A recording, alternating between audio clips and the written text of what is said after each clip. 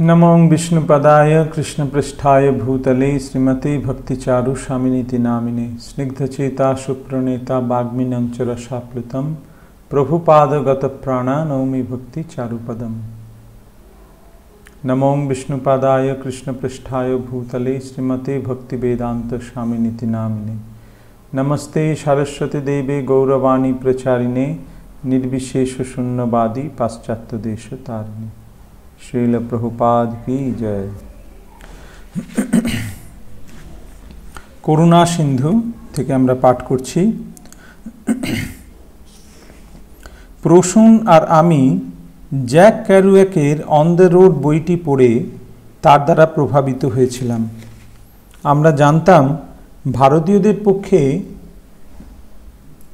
পাকিস্তান দিয়ে যাওয়া তখন সম্ভব ছিল না কিন্তু প্রসূন বুদ্ধি দিল যে আমরা জলপথে জাহাজে ইরাকের বসরায় গিয়ে তারপর সেখান থেকে স্থলপথে যাত্রা শুরু করব। পথে যে দেশগুলি পড়বে, সেগুলির ভিসা সংগ্রহ করতে হয়েছিল। ইরাক, তুরস্ক, গ্রিস, ইটালি ও সুইজারল্যান্ড সবগুলি দেশের জন্য ভিসার প্রয়োজন ছিল। অবশেষে এক প্রভাতে বম্বের ব্যালার্ড পিয়ার ডক থেকে এক মালবাহী জাহাজে যাত্রা করেছিলাম। এক সপ্তাহ ধরে পারস্য উপসাগরের প্রায় প্রতিটি বন্দরে থামতে থামতে অবশেষে জাহাজ বসরায় পৌঁছেছিল। পায়ের তলায় মাটি পেয়ে আমরা রোমাঞ্চিত হয়েছিলাম। ভারতের বাইরে এর আগে কখনো পা রাখিনি বলে আমরা দুজনেই যেন মন্ত্রমুগ্ধ হয়েছিলাম। ছোটবেলায় ইতিহাসের পাতায় পড়া টাইগ্রিস ও ইউফ্রেটিস নদীর তীরে প্রাচীন ব্যাবিলোনিয়ান সভ্যতায় সমৃদ্ধ দেশটিতে পদার্পণ করে রোমাঞ্চিত হয়েছিলাম এবং নিজেকে ধন্য মনে করেছিলাম। আমার মানসপটে ভেসে উঠেছিল সেই ঝুলন্ত উদ্যান যেটি রাজা নেবুকাডেনজার নেবুকাডনেজার নির্মাণ করেছিলেন। তার গৃহাতুর মহিষীর বেদনাবিদুর মনকে সান্ত্বনা দেওয়ার জন্য। আমরা শুনেছিলাম যে বসরায় একটি শিখ গুরুদ্বার আছে যেখানে বিনা খরচায় থাকা যায়। কয়েকটি স্থানীয় যুবককে দেখে তাদের কাছে সেই গুরুদ্বার যাওয়ার নির্দেশ জানতে চেয়েছিলাম। তারা কেবল নির্দেশই দেয়নি, আমাদের সঙ্গে হেঁটে সেখানে আমাদের পৌঁছে দিয়েছিল। পথ চলতে চলতে তাদের সঙ্গে বন্ধুত্ব হয়ে গিয়েছিল এবং পরের দিন আবার আসবে বলে তারা আমাদের প্রতিশ্রুতি দিয়েছিল। বসরাতে বেশি দিন থাকার পরিকল্পনা আমাদের ছিল না। কিন্তু আমাদের সেই নতুন সঙ্গীদের সঙ্গে এমন সুন্দরভাবে সময় কাটছিল যে আমরা সেখানে কয়েকদিন থেকে গিয়েছিলাম। তারা আমাদের, তাদের কলেজে নিয়ে গিয়েছিল এবং তাদের অন্য বন্ধুদের সঙ্গে পরিচয় করিয়ে দিয়েছিল। শহরের বিভিন্ন স্থানে অতি প্রাচীন মসজিদ, ল্যাটিন গির্জা ও ভারতীয় বাজার তারা আমাদের দেখিয়েছিল। সন্ধ্যাবেলা সাতাইল আরব নদীর তীরে ক্যাসিনো নামক উন্মুক্ত রেস্টুরেন্টগুলিতে বসে চা খেতে খেতে আমরা গল্প করতাম। সাধারণত ক্যাসিনো হচ্ছে জুয়া খেলার জায়গা, কিন্তু এই রেস্টুরেন্টগুলিতে জুয়া খেলার কোনো ব্যবস্থা ছিল না। তিন দিন সেখানে থাকার পর প্রসূন আর আমি বাসে করে বাগদাদে যাওয়ার হাইওয়েতে গিয়েছিলাম। যেখানে, সেখান থেকে আমরা বাগদাদ যাওয়ার জন্য হিচ হাইক অর্থাৎ হাত বাড়িয়ে বুড়ো আঙুল দেখিয়ে গাড়ি থামিয়ে ভ্রমণ করার পন্থা। এটা করতে মনস্থ করেছিলাম। বহুক্ষণ চেষ্টা করা সত্ত্বেও যখন কোনো গাড়ি আমাদের তুলে নেওয়ার জন্য থামল না, প্রচণ্ড গরমে উত্তপ্ত হয়ে হিচহাইক করার প্রথম প্রয়াসে বিফল মনোরথ হয়ে আমরা একটা বাসে করে বাগদাদ যেতে মনস্থ করেছিলাম। বসরায় একজন আমেরিকান ছেলের সঙ্গে আমাদের পরিচয় হয়েছিল। সেও আমাদের মতো ভ্রমণ করছিল, তবে পাশ্চাত্যের দিকে নয়, প্রাচ্যের দিকে, ভারতের হাতছানিতে। সে আমাদের বলেছিল যে বাগদাদে একটি ফরাসি গির্জা আছে, যেখানে বিনামূল্যে থাকা যায়। বাগদাদে পৌঁছে আমরা সেখানেই উঠেছিলাম। শহরের মাঝখানে অপূর্ব সুন্দর একটা গির্জা, যা ফ্রান্সের স্থাপত্যের ঐতিহ্য বহন করছিল। সেখানকার একজন মধ্যবয়সী ফরাসি ধর্মযাজক আমাদের সাদরে সেখানে থাকার অনুমতি দিয়েছিল। বাগদাদেও বসরার মতো স্থানীয় কয়েকজন যুবকের সঙ্গে আমাদের পরিচয় হয়েছিল। তারা ছিল বিশ্ববিদ্যালয়ের ছাত্র। তারা বাগদাদের বিভিন্ন জায়গাগুলি আমাদের দেখিয়েছিল এবং রেস্টুরেন্টে নিয়ে গিয়ে তাদের অন্যান্য বন্ধুদের সঙ্গে পরিচয় করিয়ে দিয়েছিল। যখন আমরা তাদের ধন্যবাদ জানাতাম তখন তারা বলতো, কর্তব্য পালনের জন্য আবার ধন্যবাদ কিসের? আমরা আমোদপ্রিয় হলেও, তারা আমোদপ্রিয় হলেও ছিল রক্ষণশীল মুসলমান, তাই তারা মদ্যপান বা ধূমপান করতো না। আমরা প্রায় প্রতিদিনই তাদের বাড়িতে যেতাম এবং তাদের বিশাল বাড়ির সুন্দর বাগানে বসে সোনার কাজ করা ছোট গ্লাসে চা খেতাম। তাদের একজনের মা আমাদের জামা কাপড় ইস্ত্রি করে দিয়েছিলেন। কাপড়গুলো যখন ফিরে পেলাম, তখন দেখলাম যে আমার একটা মোজা যেটা একটু ছেড়ে গিয়েছিল, সেটা তিনি সুন্দরভাবে সেলাই করে দিয়েছিলেন। আমাদের বন্ধুদের এই উষ্ণ আতিথেয়তা সত্ত্বেও আমি আর সেখানে থাকতে চাইনি। ইউরোপ অভিমুখে যাত্রা করতে বদ্ধপরিকর হয়েছিলাম। প্রসূনকে যখন সে কথা বলেছিলাম, তখন সে আরও কিছুদিন সেখানে থেকে যেতে চেয়েছিল। আমিও বুঝতে পারছিলাম যে সে আমার সঙ্গ থেকে মুক্ত হয়ে নিজের মতো চলতে চেয়েছিল। তাই সে যখন আমাকে বলল যে সে ভারত ছেড়েছে বাইরের জগৎটা দেখার জন্য এবং আমাদের এই নতুন বন্ধুদের সঙ্গে সময় কাটানোর সুযোগের পূর্ণ সদ্ব্যবহার সে করতে চেয়েছিল, তাই আমরা ঠিক করেছিলাম ভিন্ন পথে এগোতে। পরের দিন সকালে আমি যাত্রা শুরু করতে মনস্থ করেছিলাম। সেই গির্জায় মার্ক নামের এক ইংরেজ ছেলের সঙ্গে আমাদের পরিচয় হয়েছিল। এবং সে যখন জানতে পারল আমি পরের দিন সকালে রওনা হচ্ছি, তখন সেও আমাদের সঙ্গে যোগ দিতে চেয়েছিল। ইতিমধ্যেই আমাদের মধ্যে বন্ধুত্বপূর্ণ সম্পর্ক গড়ে উঠেছিল। তাই তার সেই প্রস্তাব আমি আনন্দের সঙ্গে সম্মতি জানিয়েছিলাম। আমাদের আরব বন্ধুদের মধ্যে একজন আহমেদ যখন শুনল, বাগদাদ থেকে আমি তুরস্কের অভিমুখে যাব, তখন সে অনুরোধ করেছিল, আমরা যেন যাওয়ার পথে কুর্দিস্তানের জাকো নামক একটা ছোট্ট শহরে তার পরিবারের অতিথি হই। তাই জাকোই হয়েছিল প্রথম গন্তব্যস্থল। আমি দেখেছিলাম যে ইরাকে হিচহাইক করা প্রায় অসম্ভব ছিল, তাই মার্ককে বলেছিলাম, বাসে করে আমরা জাকোতে যাব। আহমেদ আমাদের যাওয়ার কথা জাকোতে তার বন্ধুদের জানিয়ে দিয়েছিল। তাই যখন আমরা সেখানে গিয়ে পৌঁছেছিলাম, আমাদের স্বাগত জানাবার জন্য তারা বাস স্ট্যান্ডে এসেছিল এবং আহমেদের বাড়িতে নিয়ে গিয়েছিল।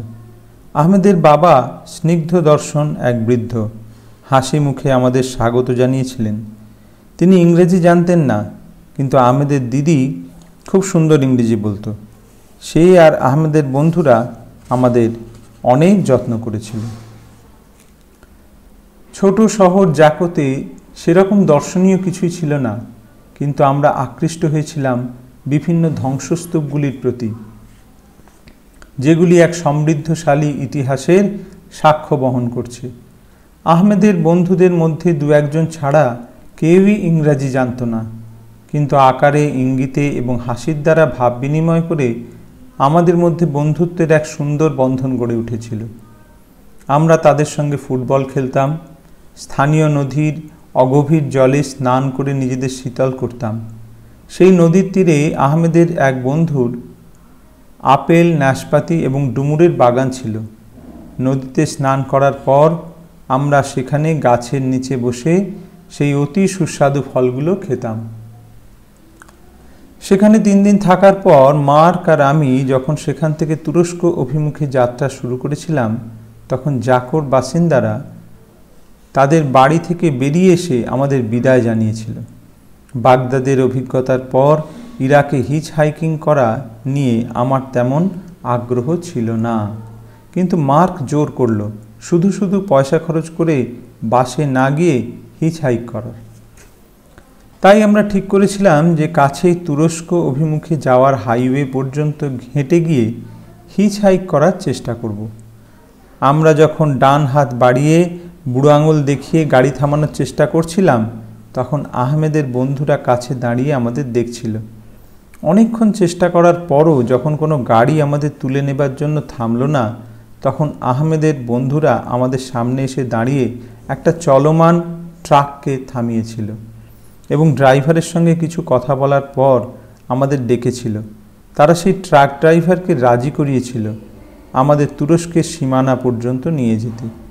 আনন্দের সঙ্গে মার্ক আর আমি সেই ড্রাইভারের পাশে বসে আমাদের যাত্রা শুরু করেছিলাম। ট্রাক যখন চলতে শুরু করেছিল, তখন মার্ক আর আমি কৃতজ্ঞতা ভরে সেই বন্ধুদের দিকে তাকিয়েছিলাম। আর ওরা রাস্তার পাশে দাঁড়িয়ে হাত নেড়ে আমাদের বিদায় জানিয়েছিল। সেই ট্রাকের চালকের সামান্য, চালক সামান্য ইংরেজি জানত, আর সেটুকুই আমাদের মধ্যে এক অমায়িক কথোপকথন চালাবার পক্ষে যথেষ্ট ছিল। সে আমাদের বলেছিল যে তুরস্কের দিয়ারবাকি শহরের দিকে যাচ্ছে এবং ততদূর পর্যন্ত সে আমাকে নিয়ে যাবে। শহরের উপকণ্ঠে পৌঁছে মার্ক শহরের ভিতরে না গিয়ে রাস্তাতেই থাকার প্রস্তাব দিয়েছিল। সে আমাকে বুঝিয়েছিল যে শহরের বাইরে থেকেই, বাহির থেকেই হিচাইক করা সহজ হবে। ইতিমধ্যে অনেক রাত হয়ে গিয়েছিল। তাই আমরা ঠিক করেছিলাম যে রাস্তার পাশেই শুয়ে রাত কাটাবো। উন্মুক্ত মাঠে খোলা আকাশের নিচে আমি এর আগে কখনো ঘুমাইনি। নক্ষত্র খচিত আকাশের চন্দ্রাতপের নিচে স্লিপিং ব্যাগে শুয়ে এক অপূর্ব আনন্দ অনুভব করেছিলাম।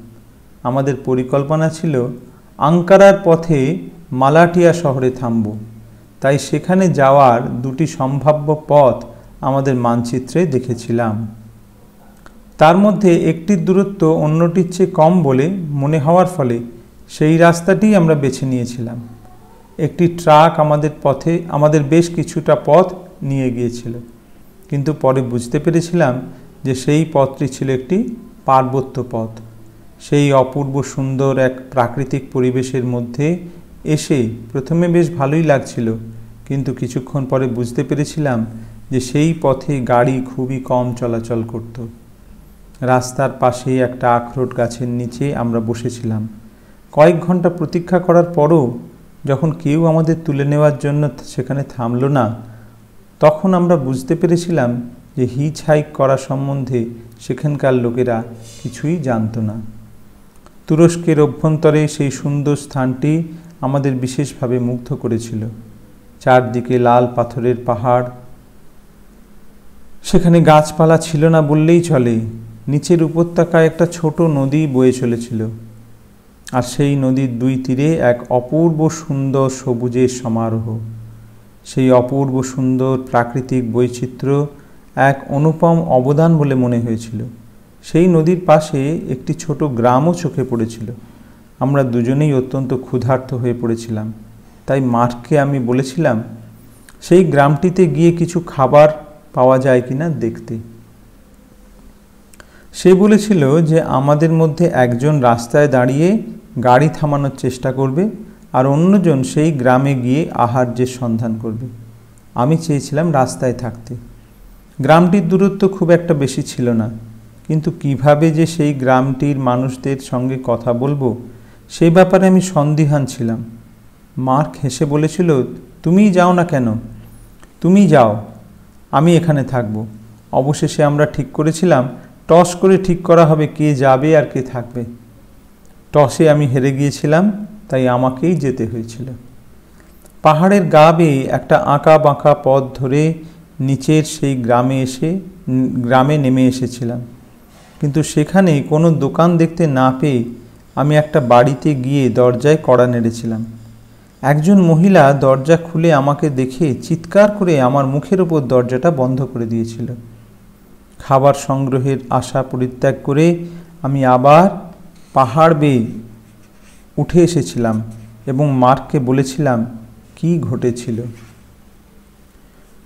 ক্ষুধার জ্বালায় আমাদের জঠরাগ্নি প্রবলভাবে জ্বলছিল। আমরা আলোচনা করছিলাম সেই পার্বত্য পথটি নিয়ে কি ভুলই না করেছিলাম। এবং ভাবছিলাম, কীভাবে অন্য পথটিতে ফিরে যাওয়া যায়?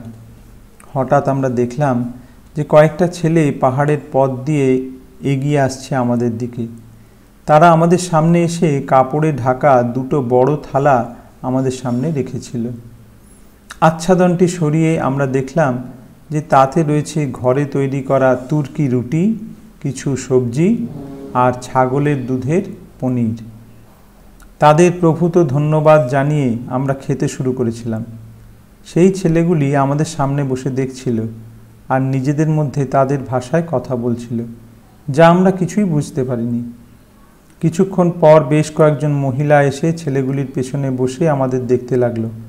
তাদের মধ্যে একজন ছিল লেবাননের বাসিন্দা এবং সে জানতে চেয়েছিল যে আমরা ফরাসি ভাষা জানি কি না মার্ক ভালোই জানতো এবং তার সঙ্গে সে কথা বলতে শুরু করেছিল। সেই মহিলাটি আমাদের জানিয়েছিল যে মহিলাটি, যে যে মহিলাটি আমাকে দেখে দরজা বন্ধ করে দিয়েছিল, সে পরে লক্ষ্য করেছিল যে আমি পাহাড়ের রাস্তা বেয়ে উপরের বড় রাস্তায় উঠে গিয়েছিলাম। তখন সে অন্য মহিলাদের সেই ঘটনাটি জানিয়েছিল। তারা অনুমান করেছিল যে আমরা নিশ্চয়ই খাবারের অন্বেষণ করছিলাম এবং রাস্তার পাশে আমাদের দুজনকে দেখে তারা ছেলেগুলিকে দিয়ে আমাদের জন্য খাবার পাঠিয়েছিল। সেই মহিলাটি বলেছিল যে, সেই গ্রামের বাসিন্দারা এর আগে কখনো কোনো বিদেশিকে দেখেনি। তাই একজন ইংরেজ এবং একজন ভারতীয়ের আগমন তাদের কাছে ছিল একটা অত্যন্ত আশ্চর্যের বিষয়। সেই মহিলাদের আতিথেয়তা আমাদের স্বাভাবিকভাবেই মুগ্ধ করেছিল। সারাদিন রাস্তার পাশে সেই আখরোট গাছের নিচে বসে আমরা প্রতীক্ষা করছিলাম। কিন্তু কোনো গাড়ি আমাদের তুলে নেবার জন্য সেখানে থামেনি। অবশেষে সন্ধ্যার সময় এক বয়স্ক মেষপালক তার পশুগুলো নিয়ে ফেরার সময় আমাদের দেখে এবং আকারে ইঙ্গিতে আমাদের কিছু জিজ্ঞাসা করেছিল। তার অভিব্যক্তি দেখে আমরা বুঝতে পেরেছিলাম যে সে আমাদের রাত্রি যাপন করার জন্য তার বাড়িতে আমন্ত্রণ জানাচ্ছে। আমরা তার সেই আমন্ত্রণ সানন্দে গ্রহণ করেছিলাম। সে ছিল একজন দরিদ্র, সরল মেষপালক। তা সত্ত্বেও সেই তার সাধ্যমতো আমাদের খাবার এবং ঘুমোবার জায়গার ব্যবস্থা করে দিয়েছিল। সকালে মার্ক আর আমি ঠিক করেছিলাম যে পাহাড় বেয়ে নিচে নেমে আরও জনবহুল কোনো স্থানে যাব, যেখানে গাড়ি পাবার সুযোগ অনেক বেশি হবে। প্রধান সড়কে আসার পর হিচহাইক করা ততটা কঠিন হয়নি। আঙ্কারার কাছে ইংল্যান্ডের ইয়র্ক বিশ্ববিদ্যালয়ের তিনজন ইংরেজি ছাত্র আমাদের তুলে নিয়েছিল।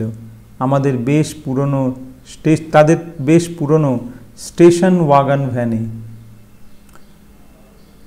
তাদের সঙ্গে বিভিন্ন স্থানে থামতে থামতে আমরা সমগ্র তুরস্ক অতিক্রম করে এসে পৌঁছেছিলাম ইস্তানবুলে, যেটা ছিল এশিয়া ও ইউরোপের মিলনভূমি। ইস্তানবুলের ব্লু মস্কের কাছে সুলতান আহমেদ অঞ্চলটি আদৌ তুরস্কের একটি স্থান বলে মনে হয় না।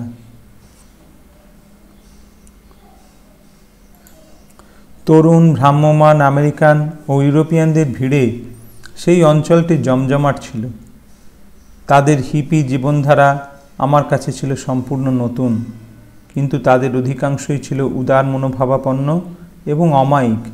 সেখানে ডরমেটারি ধরনের একটি হোটেলের ঘর এত সস্তা ছিল যে আমাদের পক্ষে সেখানে বেশ কয়েকদিন থাকা সম্ভব হয়েছিল। সেখানে অনেকের সঙ্গে আমাদের বন্ধুত্ব হয়েছিল, যার মধ্যে ছিল ল্যারি বেকার নামে এক আমেরিকান যুবক। পুডিং শপ নামক রেস্টুরেন্টে রোজ সকালে মার্ক, ল্যারি আর আমি প্রাতরাস করতে যেতাম। সেই রেস্টুরেন্টটি ছিল তরুণ পর্যটকদের কাছে খুবই জনপ্রিয়। সেখানে আমরা অনেক সময় কাটাতাম। সেখানকার খাবারও ছিল বেশ সস্তা এবং সুস্বাদু। কিন্তু আমার কাছে সবচাইতে আকর্ষণীয় ছিল সেখানকার পরিবেশ। সেই স্থানটি ছিল উদারচেতা ভ্রাম্যমান তরুণদের মিলনস্থল, যেখানে অনেকেই তাদের ভ্রমণের অভিজ্ঞতার আদান প্রদান করত। সেই সমস্ত ছেলে মেয়েদের অনেকে ইস্তানবুলে কয়েক মাস ধরে বাস করছিল। গান করে, বাজনা বাজিয়ে, দৈনন্দিন জীবনের বাধাবন্ধন হারিয়ে এক মুক্ত জীবন আস্বাদন করার জন্য সেটা ছিল এক অপূর্ব সুন্দর স্থান। আমরা প্রায় প্রতিদিন, আমরা প্রায় সারাদিনই শহরের বিভিন্ন স্থান ঘুরে ঘুরে সেখানকার ঐতিহাসিক স্থানগুলি দেখতাম। আবার কখনো নদীর তীরে বসে গল্প করতাম। একদিন সকালে মার্ক প্রস্তাব দিয়েছিল, প্রায় ঘণ্টাখানেক দূরে অবস্থিত তোপকাপি রাজপ্রাসাদ দেখতে যাওয়ার জন্য। তোপ নামটি শুনে প্রথমে আমি একটু আশ্চর্য হয়েছিলাম, কেননা বাংলায় তোপ মানে হলো কামান। সেই শব্দটি বাংলার বহু নামে ও শব্দে ব্যবহৃত হয়েছে। পরে বুঝেছিলাম যে সেটি ছিল একটি তুর্কি শব্দ এবং ভারতে পারস্যের মুসলমানদের রাজত্বের সময় সেই শব্দটি বাংলার অভিধানে স্থান করে নিয়েছিল। প্রকৃতপক্ষে সেই প্রাসাদটি ছিল অনেকগুলো অট্টালিকা ও প্রাঙ্গণের এক বিশাল গুচ্ছ।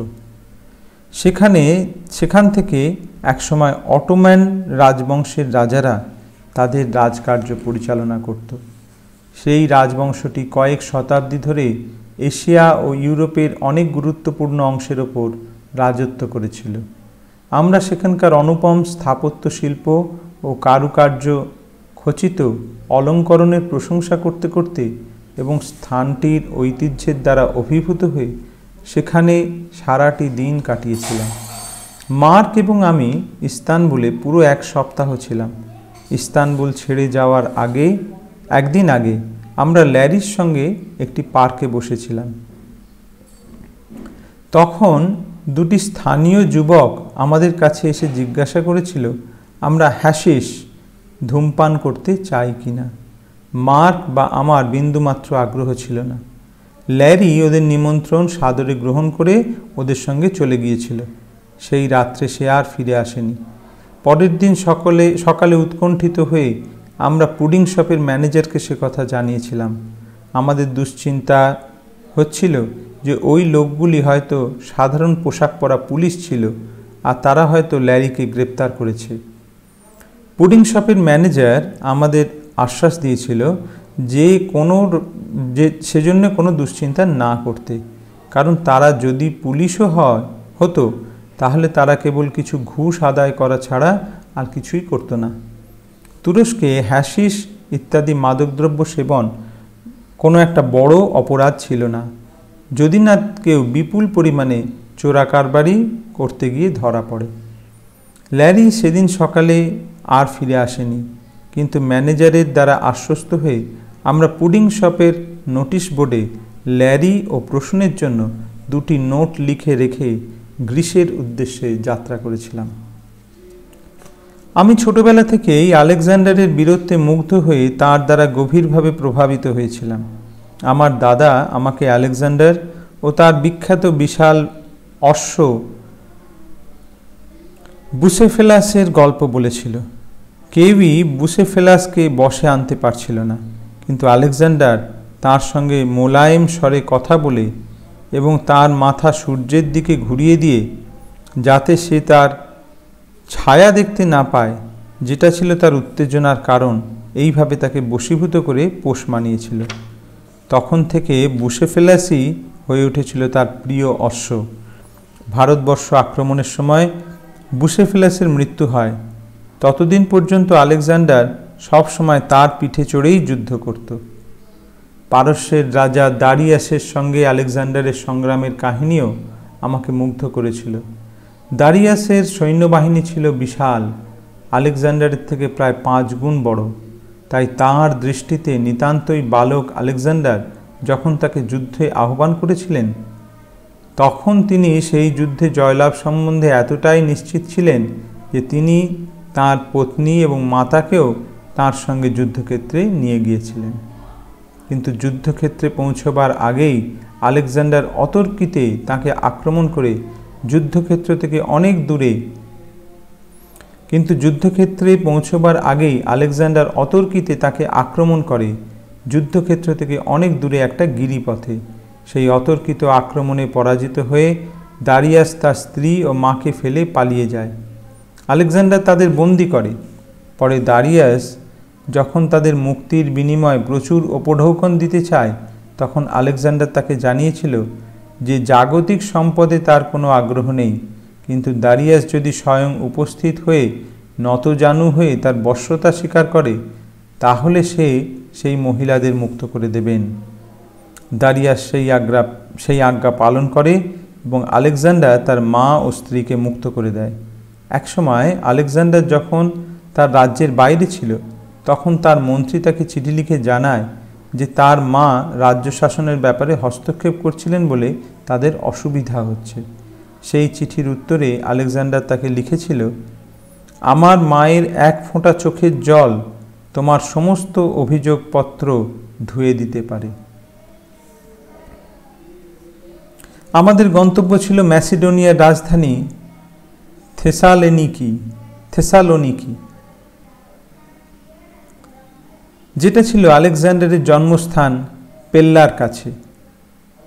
বর্ডার পেরিয়ে আমরা যখন গ্রিসে প্রবেশ করেছিলাম, তখন এক উচ্চ শিক্ষিত ফরাসি দম্পতি আমাদের তাদের গাড়িতে তুলে নেয়। তারা তিনটি গাড়িতে তিনটি পরিবার ভ্রমণ করছিল। তারা তিনটি গাড়িতে তিনটি পরিবার ভ্রমণ করছিল।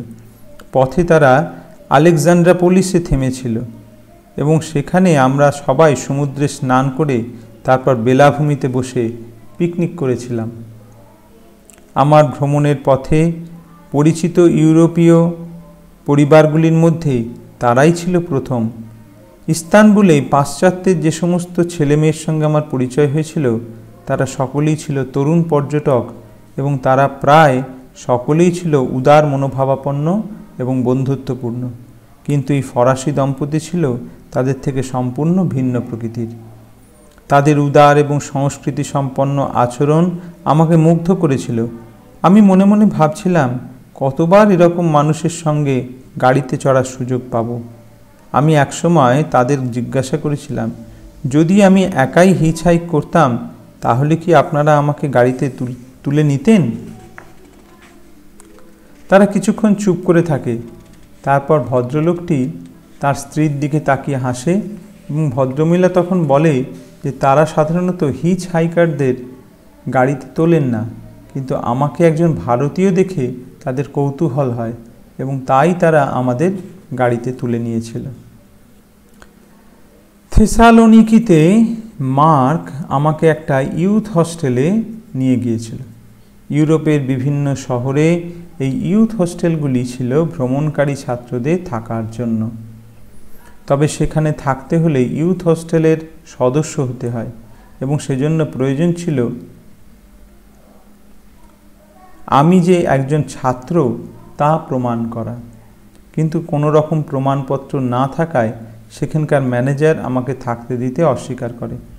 মার্ক আর আমি তাকে অনেক বোঝাবার চেষ্টা করছিলাম যে এইভাবে ভ্রমণ করার সময় কেউ তার সঙ্গে সার্টিফিকেট ইত্যাদি প্রমাণপত্র সঙ্গে নিয়ে যায় না। আর আমি ভারতবর্ষ থেকে আসছি বলে ইউথ হোস্টেলের মেম্বারশিপ কার্ড আমার সুযোগ, মেম্বারশিপ কার্ড করার সুযোগ আমার হয়নি।